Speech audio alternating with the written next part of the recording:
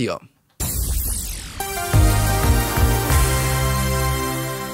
Paweł Tanajno jest Państwa i moim gościem. Panie Pawle, witam ponownie. Witam. To spytam, myśli Pan, że dzisiaj w Warszawie będzie gdzie pójść wieczorową porą? Znaczy ja jestem pewien, że jest gdzie pójść, tylko problem Warszawy jest taki, że ona jest bardzo duża, a tych lokali jest stosunkowo niewiele. Do Ja się trzech na naliczyłem, a Pan ilu? No ja na stu. Na stu, Hmm. na stu, o których wiem, że działają. No nie są to jakieś kluczowe, główne restauracje na mm, znas- znanych deptakach Mhm. e, stołecznych, ale dzielnicowe, że tak powiem, puby, e, mała gastronomia, one działają. Panie Pawle, w końcu będzie taki moment, kiedy ci e, e, przedsiębiorcy mający do zapłacenia kilkanaście, kilkadziesiąt, w niektórych przypadkach, kilkaset tysięcy złotych mandatów, będą musieli coś z tym fantem zrobić. Lockdown minie prawdopodobnie w najbliższym czasie, być może te restrykcje się poluzują, no ale oni zostaną z długiem do zapłacenia. Czy myśli pan, że linia orzecznicza sądów będzie jednoznaczna i w sposób jasny, klarowny i uniewinni wszystkich od tych e, zarzutów stawianych, od tych kar, od tych mandatów? Jak wed- według pana ta przyszłość będzie wyglądać? Będzie utopijną, utopijną e, przyszłością dla tych przedsiębiorców, czy jednak m, takim, taką karą za to, że byli jednak butnymi ludźmi podczas pandemii? Muszę zaprzeczyć wszystkim sugestiom, jakie e, mogły się pojawić w tym pytaniu, Mhm. w tej serii, którą pan redaktor zadał. Po pierwsze, nie ma i nie, nie widziałem, nie słyszałem nigdy o kilkuset tysięcznych mandatach. Maksymalne były 30-tysięczne, aczkolwiek już zostały pierwsze uchylone przez wojewódzkie nawet Mhm. e, instancje, te, które były wydawane już za grudniową działalność, e, już zostały przez wojewódzkie uchylone. Teraz już Sanepid w ogóle nie wystawia kar. Mhm. E, Teraz zgodnie z instrukcją z Warszawy stara się wejść do lokalu i w ciągu dwóch godzin załatwić wszystko. E, Kontrolę, protokół po kontroli, rozpoczęcie postępowania i decyzję o zamknięciu lokalu. Więc nie ma żadnych kar. No ale X-Demon w Poznaniu dostał prawie kilkaset, trzy razy po, trzy, po 30 koła, potem była decyzja o zamknięciu, ona anulowała tą karę co prawda, no ale ten pan nie działa, X-Demon w Poznaniu jest zamknięty, a klientów podczas jednego z, z e, jak to powiedział X-Demon, baletów wyproszono po prostu z lokalu.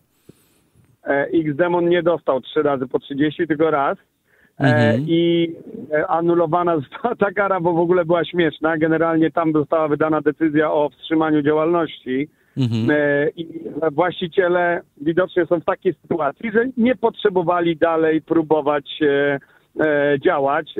Inni właściciele klubów, którzy są w innej sytuacji, próbują dalej Mhm. i są nieuczciwi i będą to robić. No też należy pamiętać, że z jednej strony jest to niesamowita akcja odbierająca PiSowi władzę, ale z drugiej strony dla przedsiębiorców to też są działania czysto ekonomiczne. No ci, którzy, tak jak pan powiedział właśnie przed chwilą, Mhm. są już w sytuacji bez wyjścia, no oni po prostu otwierają, bo są właśnie w sytuacji bez wyjścia. Bo muszą. I żadne straszenie sanepidem, żadne straszenie zarzutami e, karnymi, czy tam cokolwiek sobie Ziobro z Kaczyńskim wymyślą, już nie działa, bo dla tych ludzi jest prosta decyzja. Albo u, u, otworzą, albo do końca Mhm. życia będą tonąć w długach i się z tego nigdy nie wypłacą.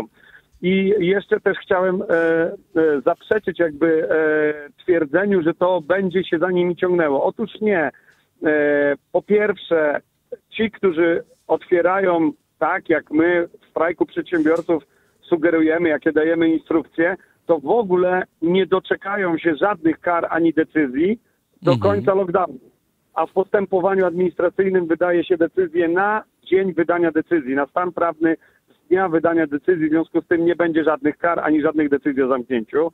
A ci, którzy te decyzje otwierali sami, jakby nie przygotowali się e, dostatecznie, tylko bardziej spontanicznie to zrobili no właśnie Mhm. w tych emocjach upadku i ratowania się przed upadkiem, no to ci nawet te wszystkie kary, te zarzuty, tak jak powiedziałem, nawet prokuratorzy się śmieją z zarzutów karnych, a rząd robi wszystko, aby nie wypuścić tych spraw poza obszar administracyjny, żeby to nie weszło w ogóle w jurysdykcję sądu, bo wiedzą, że przegrają z kretesem.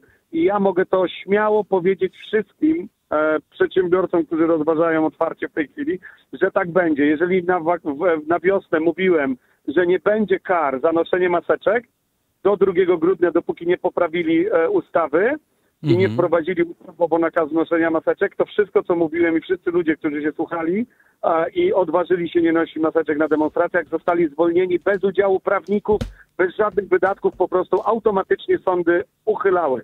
I zapewniam wszystkich restauratorów, którzy się zastanawiają, że taki sam będzie finał wszystkich kar sanepidu. Sanepid nawet o tym wie. My mamy od nich przecieki, oni są załamani. Nawet związki zawodowe Sanepidu pisały do Morawieckiego, że domagają się naprawienia stanu prawnego, bo po co oni mają wszystkie decyzje wydawać, jak to wszystko zostanie uchylone. Kaczyński i Ziobro i Morawiecki są w takim upadku ich siły władzy wobec gastronomii, że są gotowi nawet narazić na totalną kompromitację i policję, i sanepid, aby próbować tylko jedynego, co im zostało, czyli strachu. Panie Pawle, a co powie pan, e, mamy dosłownie dwie minutki, więc prosimy o, konkretę, o, o konkretną odpowiedź tym e, e, ludziom, tej grupie, sporej wielkości grupie ludzi, m, która mówi, że to właśnie państwo, ci butni restauratorzy, którzy, ja też je, i w to wierzę, jestem o tym święcie przekonany, że walczą po prostu o przetrwanie, ale to właśnie przez nich powstała, powstaje trzecia fala pandemii. Co im pan powie? Znaczy trzecia fala pandemii, zgodnie ze wszystkimi e, naukowymi opracowaniami, powstaje głównie przez to, że są niezamknięte ośrodki kultu religijnego. To są główne miejsca zarazy i o tym mówią wszystkie opracowania naukowe. Poszukanie, znalezienie sobie chłopców do bicia w postaci gastronomów, którzy umierają po prostu, bo to nie są wielkie przedsiębiorstwa i korporacje, tylko to są ludzie, którzy mają na utrzymaniu dzieci, i, i te rodziny cierpią w tej chwili, umierają po prostu. jest mordowanie tych ludzi, to jest eksterminacja wielu tysięcy polskich rodzin, którzy żyją z gastronomii. To jest znalezienie sobie chłopca do bicia. A ci, którzy roznoszą zarazę w największym zakresie, czyli kościoły, ci zostają otwarci. Więc po co my mamy No to jest też tak trochę mentalna zaraza, mi się wydaje, ten kościół, to nie tylko i wyłącznie wirus. Nie mentalna, prawdziwa zaraza. No tak są opracowania naukowców właśnie z tego słynnego Nature, na które się powoływał e, bodajże wiceminister zdrowia, e, to o, właśnie w tym Nature wskazano jako miejsca kultu, jako największe źródło zarazy e, koronawirusa. Więc po co mamy rozmawiać o gastronomach, skoro główne źródło zarazy jest otwarte?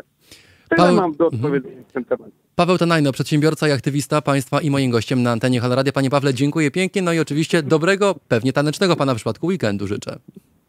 No, zapracowanego, bo będziemy działać i strajkować. My nie odpuszczamy. Dziękuję za życzenia. E, Pozdrawiam wszystkich słuchaczy. Wygramy. Trzymajcie się. Do usłyszenia, pozdrawiamy gorąco. A